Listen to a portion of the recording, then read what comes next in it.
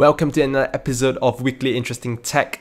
Uh, this time around, I have five new technology uh, releases over the past week that is very, very interesting, and I hope you like it. So, without further ado, let's go straight into it.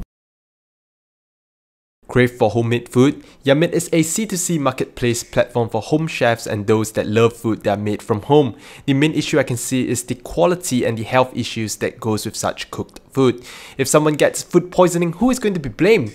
It is currently available only in certain locations, but I don't think this will be coming to Singapore anytime soon given the legal concerns need to access multiple accounts for testing and development purposes, or even for your companies and businesses that maintain several different social media accounts and whatnot. Ghost Browser has all those covered with its multi-session browsing. On top of that, get more productive with its task-based browsing and the productivity sidebar. Ghost Browser is built on top of Chromium, your Chrome browser, so it is safe and efficient as one of the top browsers out there.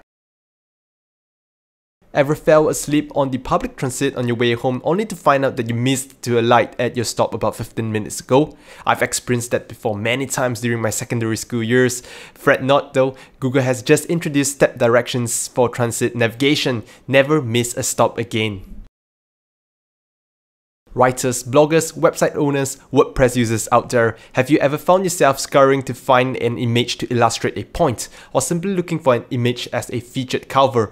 Pixabay has just released a major update to its WordPress plugin that allows you to quickly and easily look for images that you can use in your article. Pixabay has some of the most amazing collections of public domain pictures that you can certainly spice up your website and your articles. Remember the good old days where people pin badges on bags and shirts and whatnot to express a certain ideology or to simply look cooler? Beam is basically Badges 2.0 and lets you create dynamic interactive badges that can express yourself in a variety of ways. Simply use the given app and you can customize the badge to display any of your content. Pretty damn neat I would say.